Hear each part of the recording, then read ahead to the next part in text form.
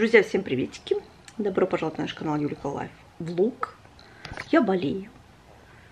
Корона продолжается. Вернее, я не знала, что у меня корона. Как вы знаете, я заболела. И сегодня у нас понедельник. В прошлый понедельник мне начало чуть-чуть першить горло.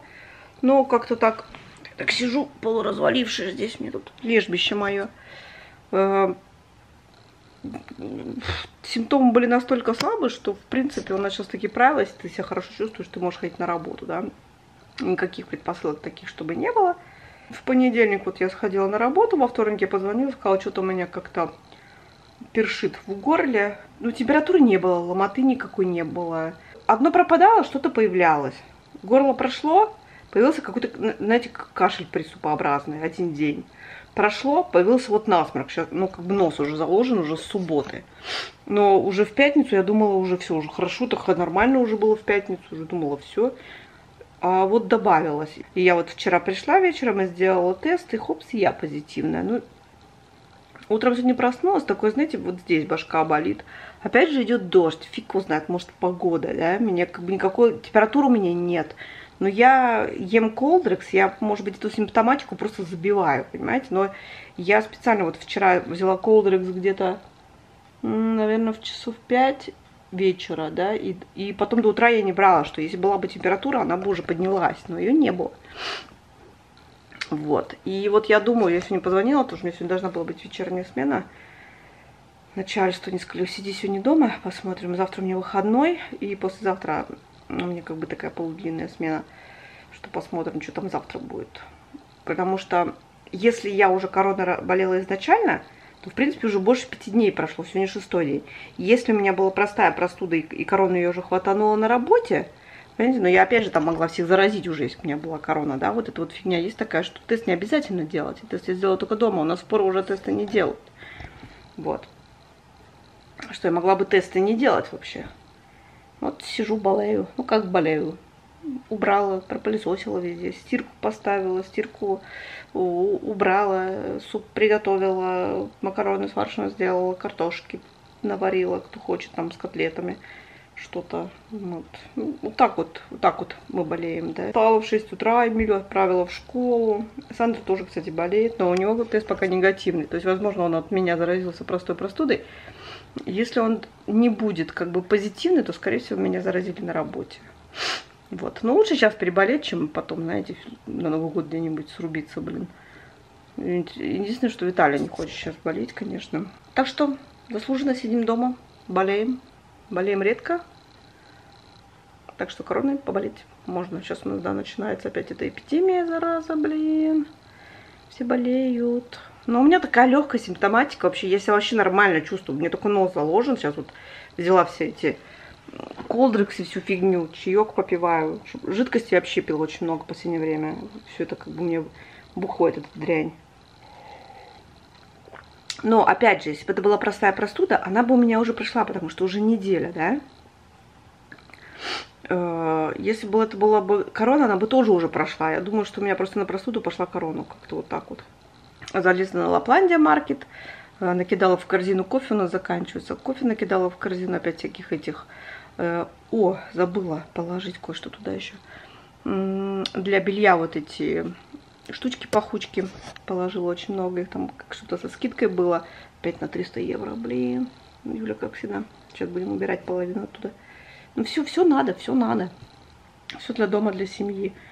И смотрю сейчас тоже эти всякие квартиры, всякую вот эту фигню. Не квартиры, эти мёккит. Избушки всякие. Я не понимаю, почему он так дорого стоит. Тут, в принципе-то, ни о чем. 32 квадрата, 70 тысяч в СИПО 47 -го года. Ну, может, думаю, может быть, здесь земли много.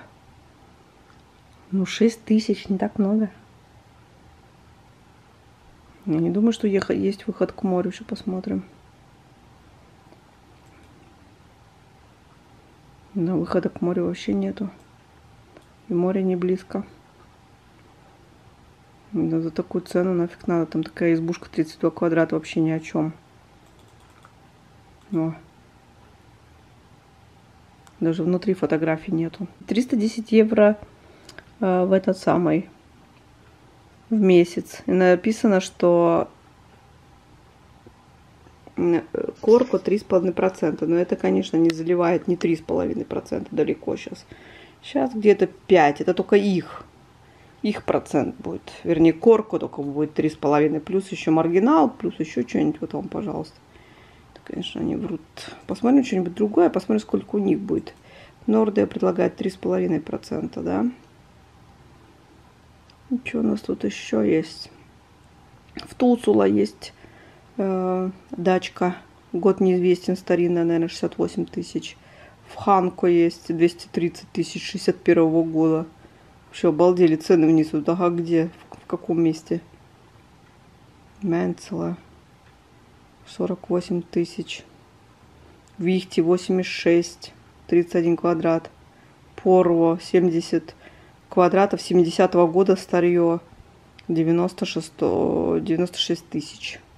А, кто предлагает? Посм... Посм... Посмотрим хотя бы вот эту Веспу. Да, 94 квадрата. Года какого неизвестно, 2000 примерно. Специально не пишут, не спигнуть. Не спигнуть. Посмотрим, что тут. Ничего тут вообще нету интересного. Угу. Кухня ни о чем. Ну за, за что тут 174 тысячи? Только за то, что Веспо? Да, дача Мёкита их увела. Так, ну тут Данский банк предлагает. Посмотрим, что Данский хочет. 4,6%. То есть какие 3,5%? Банки тоже такие. Вы к нам приходите, мы вас потом. Потом вам сделаем красиво. То есть берете, берете 174, отдаете 263. 100 тысяч практически сверху, бац. И при том, что свои еще 10% платите. Вообще нормально. 4,6%, да. Посмотрим, что у нас другие банки есть, акция там или что-нибудь. Сейчас поищем. Ну, возьмем, например, вот эту, кто, кто вот этот ведет, предлагает. Что, никакой рекламы, что ли, нету? Ну, ладно. Не хотите, как хотите. Что у нас тут такое? Может еще быть реклам куча выскакивает, блин. Мюрская Лаловиса. Ну, это новое, да, 2016 года Мёки, 2015 тысяч. Мне красивая, ну, ну, ну так, о, это красиво, это можно. Даже как жить можно, 85 квадратов там. Ну, кто предлагает-то? Никакого банка даже нету. Вот избушечка. 25 тысяч Менцела. Что у нас тут? 12 квадратов. О май гад. О, господи, боже мой. Тут за что тут 12 тысяч? Сколько земли-то хоть? Ну, 10 тысяч почти. Грунта. Дороги рядом. Что тут рядом есть? Ничего тут рядом нет. Трасса далеко. Ну, так трасса, в принципе, нормально. Вот такое вот у нас. Что вам еще показать? Давайте пойдем посмотрим, сколько квартиры стоят. Нурмиярве. Это подальше от столицы. 2017 года. 57 квадратов, 172 тысячи. Не скажу, что прям дешевеет. Веспо. Это Асумис Ойкиус. То есть дает вам право на проживание. Кстати, очень многие стремятся так вот жить. Но почему-то я не считаю, что это особо дешево. 81 квадрат, то есть вам надо заплатить 48 с половиной тысяч практически, да? А чтобы каждый месяц еще отдавать... Какая это у вас тикет? 1118. Вот в чем фишка? Я так понимаю, плюс вода, плюс машина. А если у вас нету вот этих 48 тысяч, то вы берете еще суду в банке, и плюс к этому добавляется еще суда в банке. При том, что это жилье никогда не будет вашим, вы там можете жить, конечно, всю же свою жизнь, но в чем фишка, вообще не понимаю в этом Асуме Сойкиус вообще. Вот объясните мне, может, я что-то не понимаю вообще. Смотрим, да, Керова. Ну, 90 квадратов, ладно, хорошо. Посмотрим, что там внутри. Ривик, 2002 года. А и все, да, как бы фоток нету. Но здесь Киото Вастики, э, то есть еще как бы коммуналка круглый год, 936 евро. Ну ладно, это еще терпимо, если у вас есть 33 тысячи, э, то это в принципе нормально. Плюс вода за такой вот ривик, но опять же это Кирова. Ну в Кирово очень хорошее транспортное сообщение с столичным регионом тем же. И оно очень близко от, э, по трассе, вот если ехать от Хельсинки того же, там буквально 15 минут, и ты все, ты в Хельсинки. Ладно, как бы. Но опять же, все равно, не понимаю. Ну, Кирконуми. 76 квадратов 96 года. Трешка. 871 евро. Плюс вода 20 евро с человека. Если вас трое, то плюс еще и парковка. Ну, стольничек примерно. Плюс-минус, если вас двое, трое, четверо. То есть 900, тысячу почти. Если у вас еще нету 27 тысяч, ну, то считайте. Да, считается, что Асумисойка получше районы можно выбрать. Ну, там какие-то номерки надо брать, что-то ждать. Я вот это вот не понимаю немножко. Так что я вообще думаю, что даже квартиры покупать нет смысла, потому что вы пойдете на ремонт труб, который может обойтись чуть ли не там не 100 тысяч на квартиру вообще прекрасно. Я не вижу, чтобы цены падали. Хоть говорят, цены падают. На границах цены падают, да, но здесь вообще не падают в столичных регионах. Ой. Ладно, буду смотреть телек, болеть. Ой, друзья, всем привет! Я рад вас приветствовать на нашем канале Юлика Лайфлог. У тебя аккумулятор горит. Так, попытка номер два. Друзья, всем привет! Пришел с работы. Ну, сами знаете, Юля у нас там с короной. Я еще не тест не делал, посмотрим. Сегодня так э, вроде нормально себя чухал, а единственное, что под конец дня как-то чуть пошевелишься и сразу потеть начинаешь, сразу усталость. Ну, точно такой же знаете, симптом, как раньше от короны, но опять же, это, знаете, накрутил, может, себя и все. Насколько ты спать лег? Э, без разницы, я не об этом. Э, короче, скоро будем делать тест, тогда все и будет ясно. А Юля вот открывает, слышите, короче, счет за электричество пришел. Я вам скажу, что я ожидаю просто мега космический счет, потому что туда входила готовка, консервация и отопление фасада. То есть я даже боюсь подумать, сколько там счет будет. Я думаю, что где-то евро в 400. Чуть меньше. Сколько? 339. М, На, грибош называется. Да. 339 Кстати, щас, евро. э, Сейчас скажу, на сколько киловатт. Киловатт я не могу. А, ничего себе, 1640 киловатт. Кстати, в Эстонии многие, я читала в Фейсбуке, жалуются, что откуда-то берутся лишние киловатты. Ну, у нас проще, у нас счетчик есть. На улице мы можем все проверить. У нас электронный счетчик, э, который отсылает сам все показатели. То есть мы ничего не делаем. Сколько накрутил, столько накрутил. Вот. Ну.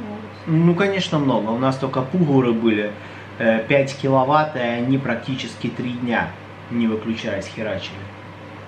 1600 киловатт. Ну, возьми 5 киловатт умножь на 70 за 3 дня. Это вот тебе... Сколько это? 350 киловатт сразу. Только, Ну. только за 3 дня. Мгм. А у нас-то счет это за 2 месяца 339. Это, в принципе, не так много. Нормально. Ну, если бы за месяц, да, да, а так за два месяца. Это с учетом, сколько мы готовили, а готовили на двух конфорках, это каждая Ну, у нас- конфорка там по ну, 5 мы по не 6 экономим киловатт, плюс да, сколько это, не выключаясь, плита работала, наверное, неделю, потому что сколько варили этих грибов, огурцов, да, там просто немерено.